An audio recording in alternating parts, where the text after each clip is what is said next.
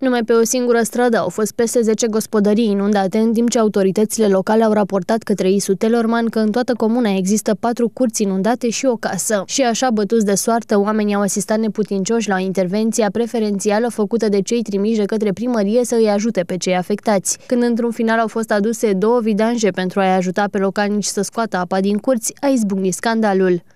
Lasă, domne, în grădină, du-te, vezi la mine ce în grădină. Și lemninică plutește. Da?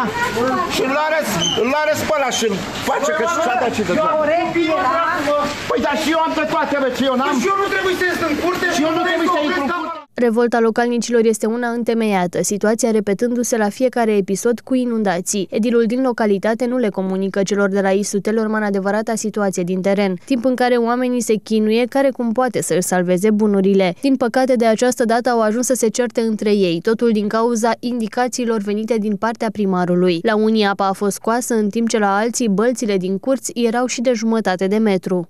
Toată cât ai numai apă.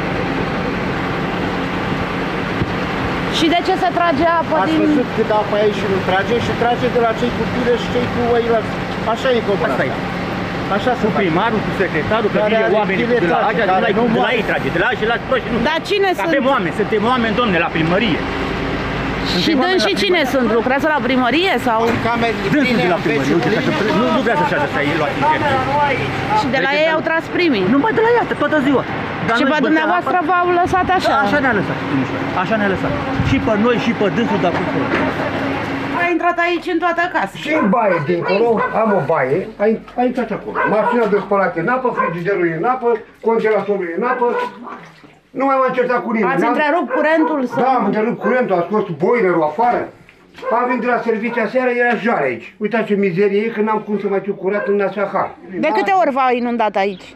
Aia e a doua oară în două săptămâni. Situația este aceeași în mai multe localități din județul Telorman. Răurile au ieșit din matcă, iar oamenii merg prin sat cu bărcile de lemn. În unele locuri, apa depășește un metru adâncime.